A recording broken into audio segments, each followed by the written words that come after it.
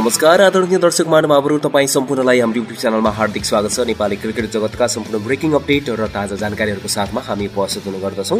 र अहिलेसम्म पनि हाम्रो च्यानललाई सब्सक्राइब गर्नुभएको छैन भने एक सब्सक्राइब गरिदिनु होला। भिडियोलाई एक लाइक पनि गर्न नबिर्सिनु होला। हामीले क्रिकेट सम्बन्धी सम्पूर्ण अपडेटहरू र नेपाली क्रिकेट सम्बन्धी रहेर नेपाली क्रिकेटरहरू सम्बन्धी नै रहेर भिडियो सामग्रीहरू तपाईँहरू माझ लिएर आउने गर्दछौँ। र यसको लागि सम्पूर्ण नयाँ नयाँ जानकारी र सम्पूर्ण क्रिकेट सम्बन्धी पुरै अपडेटहरू चाहनुहुन्छ भने चाहिँ च्यानललाई सब्सक्राइब गरेर हामीसँग जोडिनु होला। भिडियोलाई लाइक पनि गरिदिनु होला हाम्रो मेहनतको लागि पनि र केही सुझाव सल्लाह प्रतिक्रियाहरू पनि छन् भने हाम्रो कमजोरीहरू छ भने चाहिँ तपाईँले औल्याइदिनु होला अवश्य पनि। हामीले सुधार गर्ने प्रयास गर्नेछौँ।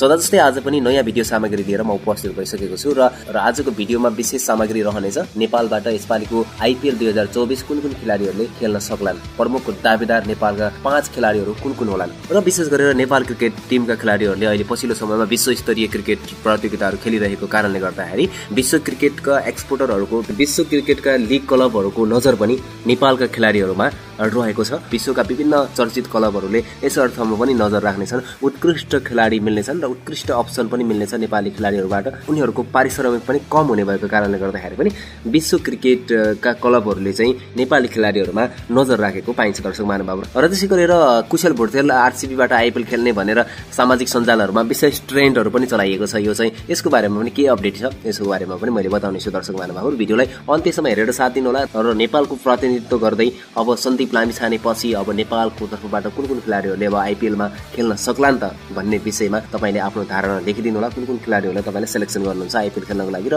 विश्वका विभिन्न चर्चित लिग क्लबहरूले चाहिँ कुन कुन खेलाडीहरूमा विशेष नजर राखिरहेका होला नि त भन्ने विषयमा पनि तपाईँको धारणा के छ? तलको कमेन्ट बक्समा अवश्य पनि उल्लेख गरिदिनु होला र मैले यसै विषयमा आजको भिडियोमा चर्चा गर्नेछु। अनि त्यसम्म भिडियोलाई हेरेर साथ दिनु होला नेपाली खेलाडीहरूको हौसलाको लागि र सदैव सपोर्टको लागि पनि भिडियोलाई लाइक गरिदिनुहोस् भन्न चाहिँ म चाहन्छु। र आउनुहोस् अबलाको आजको भिडियो सामग्रीतर्फ नै पहिलोपटक इन्डियन प्रिमियर लिग आइपिएल खेल्नको लागि नेपालको तर्फबाट सन्दीप लामिछानेले प्रतिनिधित्व गरे र एउटा आशा जगाए नेपालमा पनि क्रिकेट खेल्छन् है भन्ने एउटा सन्देश विश्वभरि फैलाइदिए। त्यस पश्चात पुनः नेपाली क्रिकेट टिमको थप चर्चा हुन थाल्यो र विश्व क्रिकेटले पनि नेपाल क्रिकेट टिमलाई चिन्न थाल्यो। सन्दीप लामिछानेले आइपिएलमा गरेको त्यो प्रदर्शनले सन्दीप लामिछाने विभिन्न लिगहरूमा पनि समावेश हुन थाले। उनी big bash league PSL BPL CPL तथा ग्लोबल टी ट्वेन्टी क्यानाडा लगायतका विभिन्न यस्ता सर्वचर्चित लिगहरू उनले खेल्न सफल भए। उनले आफूले मात्रै क्रिकेट खेलेनन् कि विश्वलाई पनि नेपालले पनि क्रिकेट खेल्छ है भनेर विश्वलाई चिनाउन सफल भए र एउटा नेपालको ऐतिहासिक नाम राख्न पनि सफल भए। उनले आइपिएलमा सहभागिता मात्रै जनाएनन् उनले त्यहाँ खेलेर उत्कृष्ट प्रदर्शन गर्दै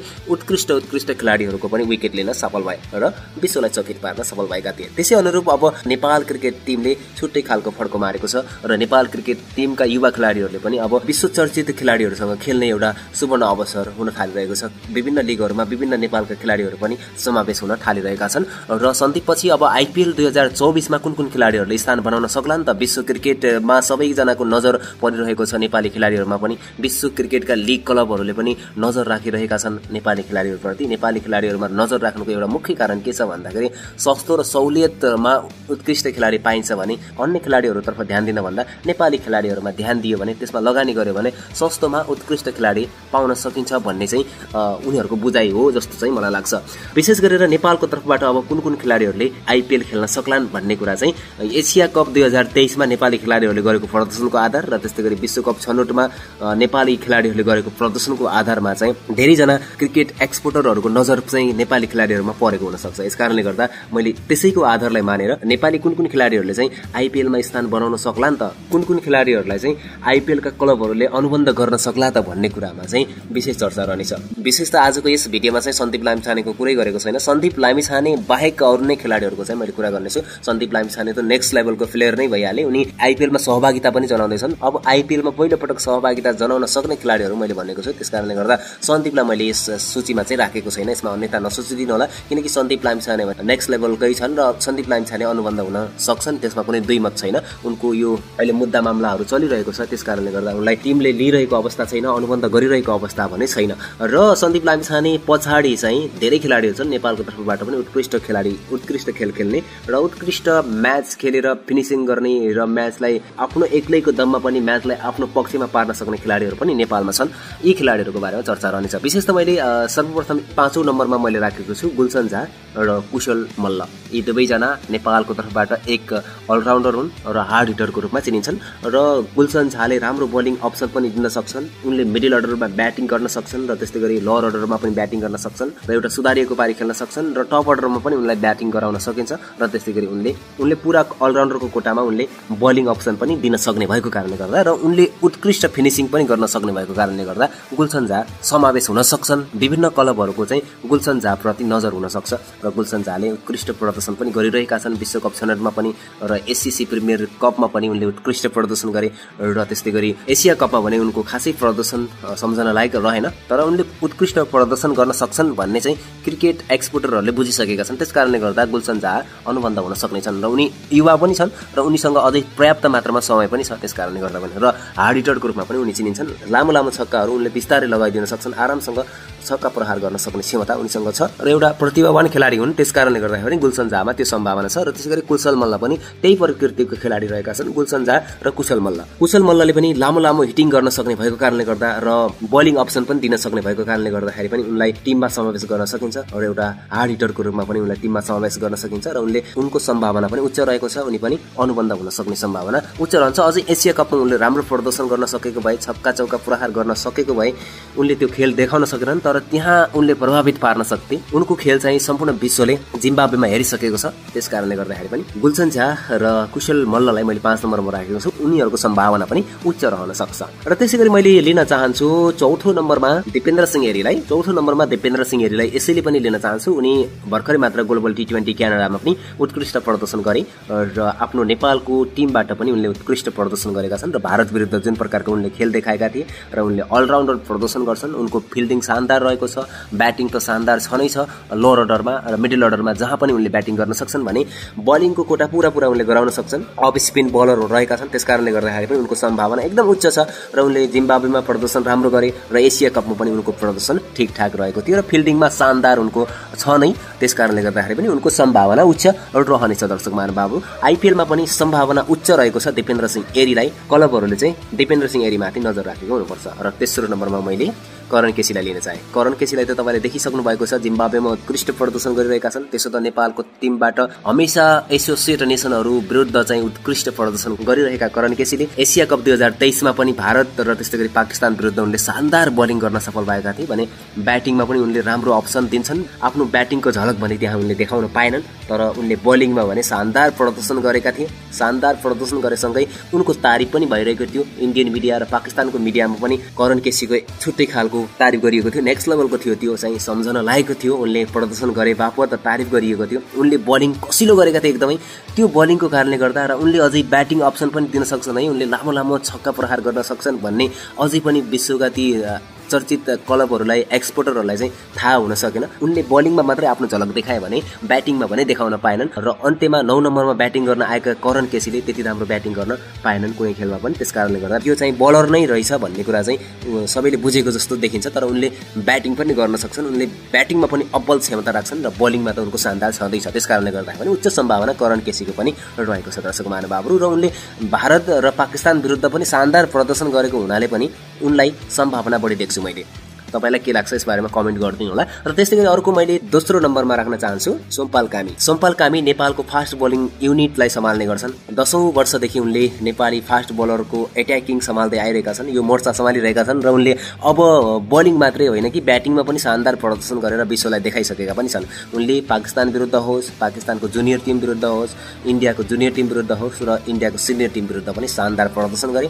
चौका छक्का लगाइदिए हार्दिक पाण्डेको बलमा सिराजको बलमा छक्का लगाइदिए। थिए र सनसनीपूर्ण प्रदर्शन गरे र बलिङमा पनि शानदार एक सय पैँतिसदेखि एक सय चालिस केपिएचको स्पिडमा उनले बलिङ गर्न सक्छन् र यो एउटा प्लस अप्सन रहेको छ उनीसँग र ब्याटिङमा पनि शानदार छँदैछ। लोवर अर्डरमा उनले राम्रो सम्हालिएको ब्याटिङ गर्ने गर्छन् र त्यो खेल उनले देखाइसकेका छन्। एसिया कपमा पनि उनले शानदार प्रदर्शन गरे। नेपालको तर्फबाट त सदैव उनले प्रदर्शन गर्दै आइरहेका पनि छन् र उत्कृष्ट प्रदर्शन गरिरहेका पनि छन्। त्यस कारणले गर्दा पनि सम्भावना उच्च रहेको छ। सोमपाल कामीको सोमपाल कामीले यसरी हैरान बनाइदिएका थिए इन्डियन बलरहरूलाई। आठ नम्बरमा ब्याट ब्याटिङ गर्न आएर यसरी ब्याटिङ गरिदिएका थिए कि टप अर्डर ब्याट्सम्यानले ब्याटिङ गर्दैछ। त्यस कारणले गर्दाखेरि पनि इन्डियन मिडियाहरूले चाहिँ सोमपाल कामीको छुट्टै खालको अथवा यो भनौँ नेक्स्ट लेभलको चाहिँ तारिफ गरेका थिए र यसले चाहिँ सम्पूर्ण नेपालीहरू चाहिँ गौरवान्वित भएका थिए र खुसीले हर्षले गदगद भइरहेको अवस्था पनि थियो। हामी सबैजनाले कमेन्टेटरहरूले भनेको चाहिँ कमेन्ट्री सुन्दा मजा आइरहेको थियो। सोमपाल कामीले त्यसरी प्रभाव छोड्न सफल भए एसिया कपमा। त्यस कारणले गर्दाखेरि पनि इन्डियन प्रिमियर लिग आइपिएलमा दुई हजार चौबिसमा चाहिँ कुन टिमले अनुबन्ध गर्न सक्ला सोमपाल कामीलाई? पक्कै एक न एक टिममा चाहिँ अनुबन्ध हुन सक्ने प्रबल सम्भावनाको रूपमा सोमपाल कामीलाई हामी राख्न चाहन्छौँ दुई नम्बरमा। र त्यस्तै गरी एक नम्बरमा चाहिँ मैले राख्न चाहन्छु कुशल भोटेललाई दर्शक महानुभावहरू Kushal Bhurtel T twenty batsman हुन्। उनले ओडिआईलाई पनि टी ट्वेन्टी बनाइदिन्छन्। र उनको ब्याट चल्यो भने मात्रै पनि उनले हरेक खेललाई उनले टेस्ट खेल्न पायो भने पनि उनले टी ट्वेन्टी बनाइदिने थियो सायद। उनले एट्याकिङ क्रिकेट खेल्ने गर्छन् र उनले भारत विरुद्ध त्यो खालको प्रदर्शन गरेर देखाइदिए र एट्याकिङ क्रिकेट खेलेर सम्पूर्णलाई सनसनी मचाइदिए र नेपालको तर्फबाट एट्याकिङ क्रिकेट खेल्दै भारतका बलरहरूलाई यसरी छक्का चौका प्रहार गर्न सफल भएका थिए ताकि त्यो हामी कुनै शब्दमा बयान गरेर सक्ने अवस्था चाहिँ छैन। उनले पच्चिस बलमा अडतिस रन बनाएर छोटो पारी खेले तर त्यो पारीलाई अझै ठूलो रूपमा परिवर्तन गर्न सकेनन्। ठूलो स्कोरमा परिवर्तन गरिदिएको भए अझै उनको व्यापक चर्चा हुन सक्दथ्यो तर उनले त्यसो गर्न सकेनन्। उनले एक झलक जिम्बावेमा पनि देखाइसकेका छन्। जिम्बावे विरुद्ध उनान्सय रनमा आउट भएका थिए र त्यहाँ पनि चौका छक्काको वर्षा उनले गरेका थिए। त्यहाँ पनि विश्व क्रिकेटको नजर कुशल प्रति परिसकेको थियो र कुशल प्रति नजर एसिया कपमा पनि परेको छ जुन भारत विरुद्ध उनले सनसनीपूर्ण प्रदर्शन गरे र एट्याकिङ क्रिकेट खेलेर उनले देखाइदिएका छन्। र यो ब्याट्सम्यानमा ट्यालेन्ट छ यो ब्याट्सम्यानले केही गर्न सक्छ यो ब्याट्सम्यानले हिटिङ गर्न सक्छ यो ब्याट्सम्यानमा सबै खालको खुबी छ भन्ने खालको सन्देश चाहिँ सबैजनालाई दिइसकेका छन् र विश्वलाई दिइसकेका छन् कुशल भोटेलले त्यस कारणले गर्दाखेरि पनि कुशल भोटेल आइपिएलमा अनुबन्ध हुन सक्लान् भनेर चाहिँ हामीले अनुमान गरेका छौँ र र एकदमै प्रबल सम्भावना पनि कुशल भोटेलको रहेको छ दर्शक महानुभावहरू यी खेलाडीहरूमध्येबाट सन्दीप लामिछानेको मैले लिएको छैन। सन्दीप लामिछाने नेक्स्ट लेभलको खेलाडी हुन्। सन्दीप लामिछानेको केसको बारेमा चाहिँ केही फाइनल डिसिजनहरू भयो भने चाहिँ उनी स्वत आइपिएलमा छनौट हुन सक्ने छन् अहिले यसपालि चाहिँ उनको प्रदर्शन पनि त्यति राम्रो भएको छैन। उत्कृष्ट प्रदर्शन गर्न सकिरहेको अवस्था चाहिँ छैन। त्यस कारणले गर्दाखेरि सन्दीप लामिछाने पनि उनी आइपिएल खेलेर आइसकेका खेलाडी हुन् र उनलाई चाहिँ हामीले रेस्पेक्ट चाहिँ गर्नुपर्छ र सन्दीप लामिछाने बाहेकका खेलाडीहरू मध्येमा यी खेलाडीहरू चाहिँ आइपिएलमा अनुबन्ध हुन सक्छन् अथवा अन्य लिगहरूमा पनि अनुबन्ध हुन सक्छन्। यदि ड्राफ्टमा चाहिँ समावेश हुन सकेमा चाहिँ खेलाडीहरू बाहेक अर्का एक खेलाडी आसिफ शेख जसले भारत विरुद्ध हाफ सेन्चुरी पनि लगाउन सफल भए र एउटा ऐतिहासिक त्यो छेड बनाइदिए र एउटा स्टोरी पनि उनले क्रिएट गरेका थिए। र यसले पनि अब आसिफ शेखको पनि सम्भावना उच्च रहेको छ। उनी क्लासिक ब्याट्सम्यानको रूपमा देखिएका थिए त्यहाँ। उनी अलिकति सोलो खेले। आइपिएलमा भने अलिकति फास्ट रन बनाउन सक्ने खेलाडीहरूप्रति नै क्लबहरूले विशेष नजर राख्छन्। त्यस गर्दा आसिफ शेखको पनि त्यो क्लासिक ब्याटिङ चाहिँ विश्वले हेरिसकेको छ। अनुबन्ध हुन पनि सक्नेछन्। आसिफ शेख शानदार प्रदर्शन गर्न सफल भएका पनि थिए। त्यस कारणले गर्दाखेरि पनि आसिफ शेखप्रति पनि नजर रहनेछ। विशेष गरेर त मैले नेपाली खेलाडीहरूको बारेमा सन्दीप लामिछाने त भइ नै हाले। सन्दीप लामिछाने सोमपाल कामी कुशल भुर्तेल करण केसी दिपेन्द्र सिंहेरी कुशल मल्ल र गुलसन झा रहेका छन् र त्यस्तै गरी आसिफ शेख। यी खेलाडीहरूले आइपिएल खेल्न सक्छन् अझै उत्कृष्ट प्रदर्शन आउने खेलहरूमा पनि देखाउन सक्यो भने विभिन्न विश्व चर्चित क्लबहरूले चाहिँ यी खेलाडीहरूलाई आफ्नो टिममा अनुबन्ध गर्नको लागि कुनै दुविधा देखाउने छैन। त्यस कारणले गर्दाखेरि आफ्नो खेलमा चाहिँ यिनीहरूले पनि ध्यान दिन आवश्यक छ र यी खेलाडीहरू मध्येबाट अवश्य पनि एक न एक खेलाडी चाहिँ आइपिएलमा पनि अनुबन्ध हुन सक्नेछन् भन्ने चाहिँ हामीले आशा गरेका छौँ दर्शक महानुभावहरू। र विशेष गरेर पछिल्लो समयमा कुशल भोटेलको बारेमा चाहिँ एउटा सामाजिक सञ्जालमा ट्रेन्ड नै चलेको रहेछ। त्यो मैले त्यहाँ पनि देखेँ।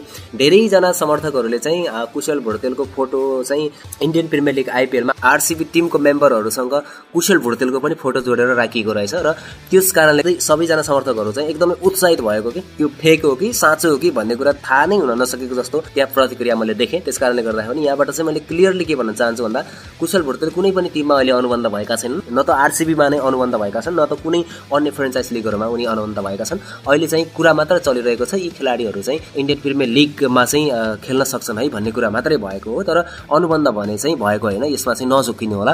कुनै फेक आइडीबाट कुनै फेक पर्सनले चाहिँ यो कुशल भोटेल चाहिँ आरसिबीमा अनुबन्ध भयो भनेर ट्रोल गरिएको हो दर्शक महानुभावहरू यसबारेमा पनि मैले क्लियरली जानकारी दिन चाहेँ तपाईँहरूलाई। सबैभन्दा पहिला त के हुन्छ भन्दाखेरि ड्राफ्ट हुन्छ। ड्राफ्टमा चाहिँ नेपाल नेपालको तर्फबाट कुन कुन खेलाडीहरू समावेश हुन्छन् त्यसमा चाहिँ भर पर्ने हुन्छ र ड्राफ्ट पछिबाट फेरि कुन कुन खेलाडीहरू ड्राफ्टमा परेका छन् त्यसमध्येबाट कुन कुन खेलाडीहरू कुन कुन टिमले अनुबन्ध गर्न सक्छन् भन्ने कुरा चाहिँ त्यो प्रोसेस हुन्छ लामो त्यसमा चाहिँ थाहा हुनेछ। दुई हजार चौबिसको आइपिएल आउन अझै धेरै समय बाँकी नै छ। त्यो समयको लागि हामी प्रतीक्षा गर्नुपर्ने हुन्छ।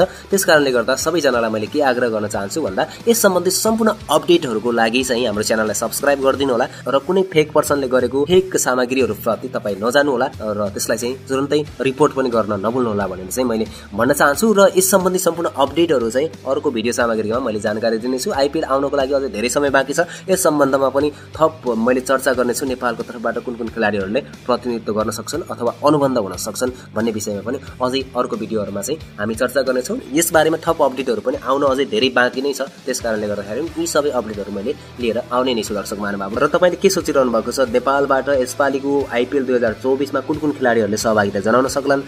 कुशल भोर्तेल करण केसी सोमपाल कामी दिपेन्द्र सिंह एरी गुलसन झा कुशल मल्ल लगायतका खेलाडीहरू मध्येबाट कुन खेलाडीले स्थान बनाउन सक्लान् त? कुन खेलाडी अनुबन्ध हुन सक्लान् त? यसबारेमा तपाईँको धारणा के छ? तलको कमेन्ट बक्समा लेखिदिनु होला। नेपाली खेलाडीहरूलाई बेस्ट अफ लक भन्न नबिर्सिनु होला। च्यानललाई एक सब्सक्राइब गरिदिनु होला। हामी भने अर्को नयाँ सामग्रीको साथमा नयाँ भिडियोमा आउने नै छौँ। अहिलेलाई भने बिदा दिनुहोस्। Bye bye. जय नेपाल। जय नेपाली क्रिकेट।